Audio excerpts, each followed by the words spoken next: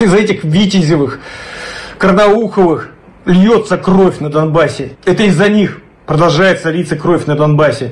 У таборі розсержених зет-патріотів назріває серйозне невдоволення ходом так званої СВО та політикою чинної влади. Один із найближчих соратників злочинця Гіркіна Стрілкова Міхаїл Палинкав накинувся на працівників російської госпропаганди, ведучих каналу Соловйов Лайв Вітязєву та Карнаухова, яких прямо звинуватив у тому, що на Донбасі саме через них л'ється кров, і російська армія зазнає великих втрат. Из-за таких вот, блин, я просто не могу. Потому что вот из-за этих Витязевых, Карнауховых льется кровь на Донбассе. Это из-за них продолжается литься кровь на Донбассе. Это они, основных виновников того, что сейчас происходит на Донбассе. Это они успокаивали нас. И они, говорили, шапками закидаем. Вот из этих вот людей все это происходит. Их ждет высший суд, это в любом случае. Они ответят за каждую каплю крови. Я не могу смотреть вот на этих людей. Настолько вот беспринципные, без малейшей капли совести. Как они врут, как они изгаляются. А тим часом сама пропагандистка Вітязєва обурилася, що люди не задоволені тим, що її нагородили медаллю за отвагу. А Карнаухов взагалі запропонував примусово лікувати суспільство. Что мне дали медаль? Медаль мне дали, друзья мои, за отвагу. Скажу больше. К этой медали у меня прилагается 11 лет срока на Украине с конфискацией имущества.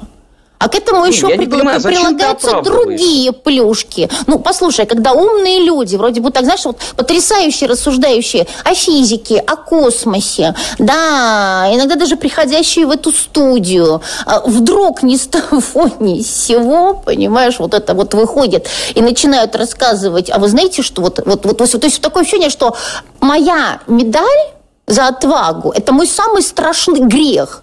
Понимаешь, так же, как и то, что я родилась в Одессе, так же, как и то, что у меня мама проживает с 98 года, между прочим, да, в Соединенных Штатах Америки. То есть так, вот какая-то такая вакханалия началась, понимаешь, потому- и вылезли комплексы каждого.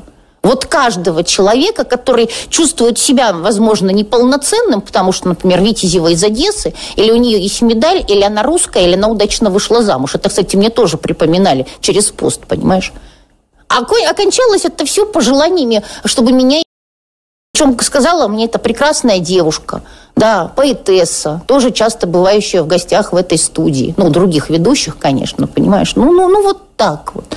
Ну вот, вот, и ты знаешь, это показывает, насколько вот определенная часть нашего общества, извините, больна. Вот больна всем. У нас, мы все нездоровы. Если эту часть общества не лечить принудительно, через возбуждение уголовных дел, никогда ничего не произойдет. Проблема вся в том, что очень многие почему-то стали воспринимать себя выше закона. То есть вот а, им втемяшилось в голову, что они великие поэты, архитекторы, скульпторы, а, музыканты и так далее. И закон их не интересует. Если, повторяю, если это принудительно не остановить, это Будет дальше будет на. Украине. І щось трапилось з обличчям зливного батька Скабєєвої, адже воно чомусь перестало сяяти радістю в студії, коли з'ясувалось, що Росія не має ресурсів для великого контрнаступу. Оптия Аронович, ваше личное частное мнение. Понятно, что решение будет в конечном итоге принимать Путин.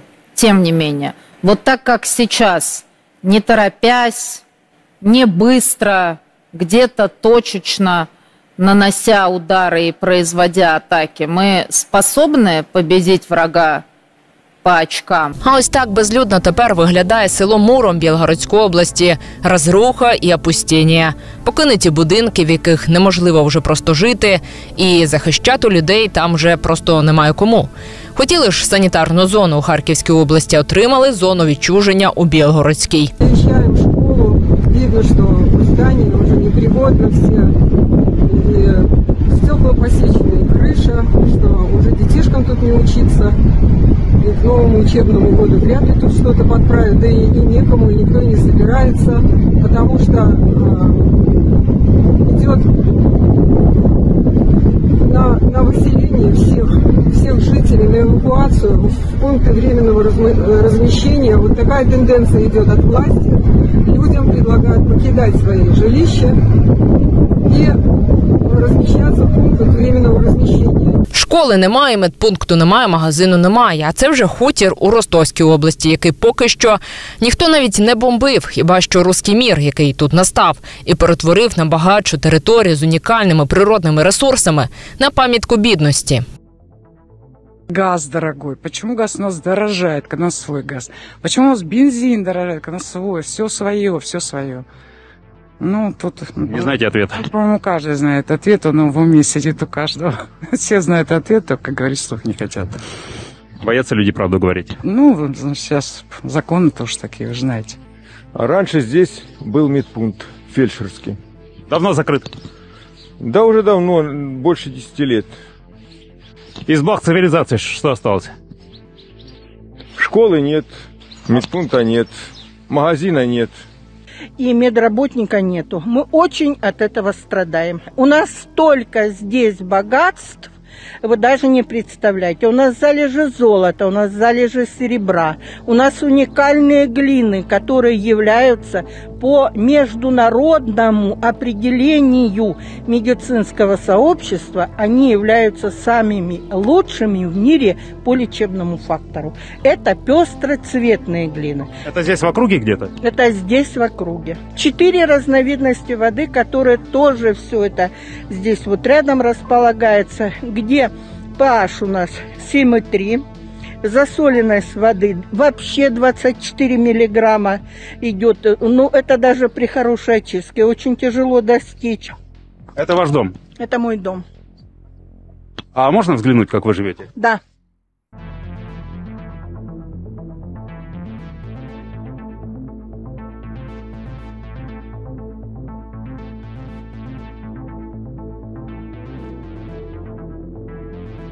Это моя печка, которую переложили. Видите, вот посмотрите, что все валится. Вот здесь обрушится. Это все течет, э, крыша течет. У вас, получается, дом разваливается. Дом разваливается, да. Он постройки 60-го года. В 18 году весной у меня произошел пожар в доме, вот в комнате. Часть выгорела. А обращались куда-то? За помощью? Да, Что, какой ответ был? ремонтируйте за свой счет. У меня 13,5 тысяч пенсия. Я мала малоимущая, я одинока. І 21 століття Росія газова держава. Депутат Горольов закликає жителів Забайкалля обзавестися дровами або вугіллям перед майбутнім опалювальним сезоном. Тому що наявна інфраструктура вже просто не витягує. А газифікувати всіх, ну самі розумієте, трубу в кожний будинок це ж дороге задоволення. Конечно, с одной стороны оптимист, но как человек военный рассматриваю наихудший вариант. Потому что, поэтому все-таки я хотел бы, чтобы следующий отопитель все, ну, хоть как-то бы вывезли, потому что уже время готовится. Осталось, по сути, ну, полтора месяца, правда? Да. Все на этом. Но запас что? Не тянет, правда, да? Поэтому наличие печки с трубой и наличие дров и угля, в том числе в многоквартирных домах, никогда лишним на, на данном этапе не будет. Но то, что по факту как есть, честно говоря. Ну і за бекальцями все зрозуміло. У мене інше питання: коли ж нарешті перемерзне вся Європа? А ще у росіян вирішили запитати: а як же вони будуть жити без Ютуба? Как вы будете жить без Ютуба? Да мне чихать на него. Хорошо бы совсем все отключили, мне нужен ответ. Люди нормально хоть станут, будут чем делом заниматься. Так же, как и всегда. Мы же жили без Ютуба до этого. Будем читать книжки. Прекрасно. Я не смотрю особо YouTube. Ввиду того, что это является рупором пропаганды Запада, э, я думаю, что это, это вот станет только лучше. Обыкновенно. Как без телефона жила, буду да и без Ютуба жить. Я больше смотрю телевизор. С Ютуба хорошо жить. Это же вообще жизнь прикольная. Ну, как мы раньше жили. Без Ютуба. Вот так и будем жить без Ютуба. Не нужен он нам. Хорошо, я Рутюбом пользуюсь. Какие-то, конечно, зарубежные истории не смогу посмотреть, но я думаю, что я найду их просто в других порталах. Любое ограничение способствует прогрессу. А, Поэтому я- я только за. Любые санкции делают нас сильнее. Здається, росіянам подобається як повільно, але стрімко. Вони повертаються десь до 20-го сторіччя. Друзі, на цьому все. Обов'язково напишіть ваш коментар, поставте лайк і чекайте на наступний випуск.